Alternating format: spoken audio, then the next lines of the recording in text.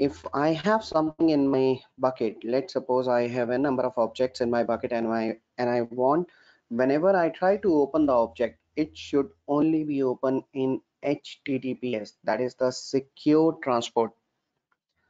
It will not open with HTTP. So for that, we have to work on the permissions where we need to go to the bucket policy and we need to set one of the bucket policy. So this is something which we are going to learn today. So I have created one of the bucket that is with the name of secure transport bucket.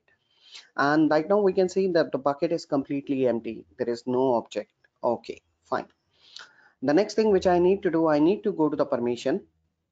Okay. And here I have couple of options like block public access, access control list, bucket policy. So I'm going to work with the bucket policy. So let me click on the bucket policy. Here it is asking me to generate a policy policy for the bucket. So what I need to do is first I need to copy the ARN of the bucket. Okay. And let me keep it somewhere, somewhere. So I have pasted here.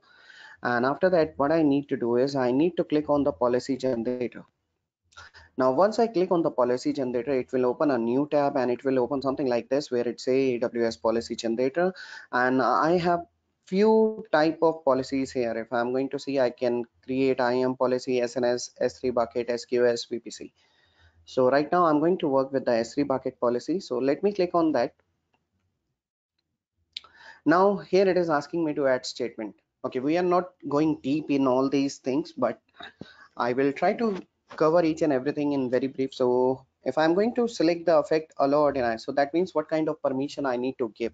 If i'm going to select the deny so that means there is no permission and if i'm going to select allow that means they can access it. Now in the principal principal is something which is uh, generally for the users. If i need to give any particular user access then i can mention the arn the user arn here okay again it's not the user username which i need to give here. It's the complete arn arn means the amazon resource name which i need to give it here. But as of now we are creating this policy for the public. So i'm going with these char options. So that means it has access for everyone. Next we have the service aws service. So we have selected the s3 bucket policy at the top. So it is only showing me the s3 and the option is grayed out. I'm not able to select if i'm let's click on this. Okay it is not showing me any other option because i have selected the s3 bucket policy.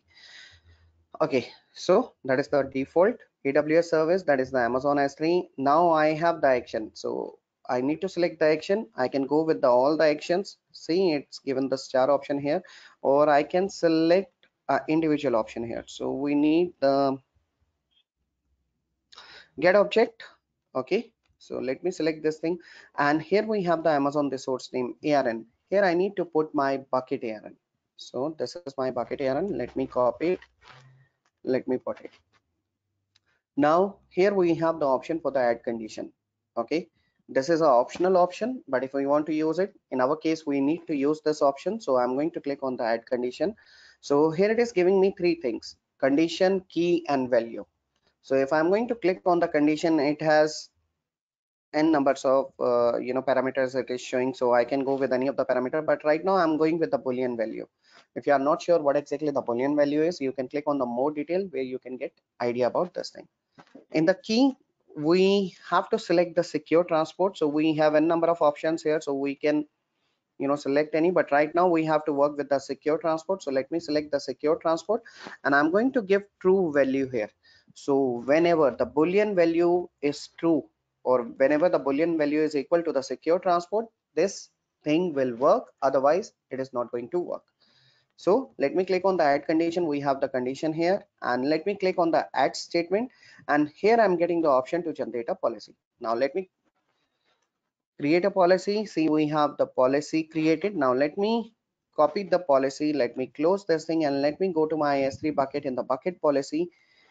Here i need to make sure there is no space in the start so let me paste my policy here. Now once i'm click on save it will give me error message. So let me click on the save and let's see the error message. The error message is action does not apply to any of the resource in the statement.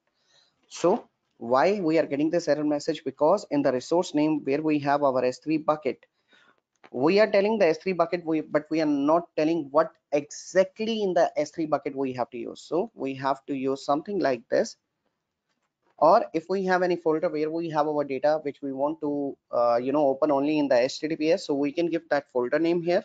If we don't have the folder name we can just simply click on this.